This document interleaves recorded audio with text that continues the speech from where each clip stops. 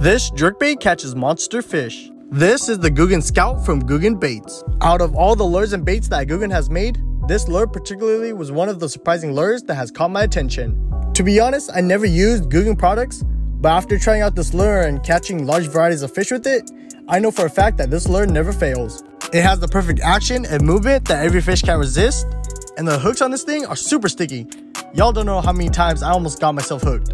Not just that, this lure is $10.99 and you can pick it up online or at your local Dick's Sporting Goods. It may be pricey for some, but trust me, it's worth it for its bucks.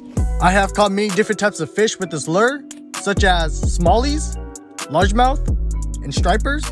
After using it for a while, I would say the Googan Scout will always be my go-to lure for catching fish.